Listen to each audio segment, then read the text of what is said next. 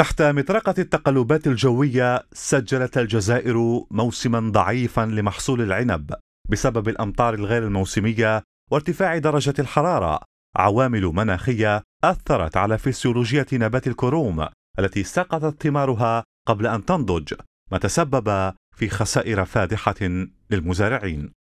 سقط أمطار بكمية معتبرة. عندها بزاف ما سقطتش هكذا على مستوى متيجا ناحيه متيجا فايت 650 ملم واللي هو المعدل السنوي اللي كان 600 ملم ولكن وصلت كانت تذبذب وما كانش متوزعه في الوقت. لهذا شفنا يعني خسائر كبيرة في المنتوج الفلاحي. وكان الناس اللي زارعه الكروم تاعها وين ما كانش الماء.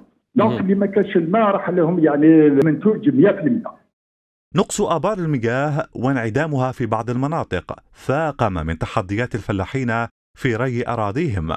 ما يستدعي بحسب خبراء حلولا بديلة كالرهان على تحلية مياه البحر. وكان حتى نسبة المياه في الآبار هبطت. عند أربع سنين كنا نصيبوا الماء على 40 متر درك رانا نصيبوا على 100 متر. donc ما نشوفوش ثلوج في الجبال لمدة أربع سنوات. وهما اللي يعني راحوا ياليمونتو يعني لي وهذا يعني السلطات العليا تفطنت واستراتيجيه خاصه هي تحلية مياه البحر. يعني والله موضوع موضوع هام اللي كنا إحنا ندعموا فيه ونتكلموا فيه وين لازم المواطنين اللي عندهم وين يشربوا. بعيدا عن التقلبات المناخية يجب اتخاذ إجراءات من قبل الوزارة الوصيه لحماية المحاصيل من التلف عن طريق الآليات المتوفرة.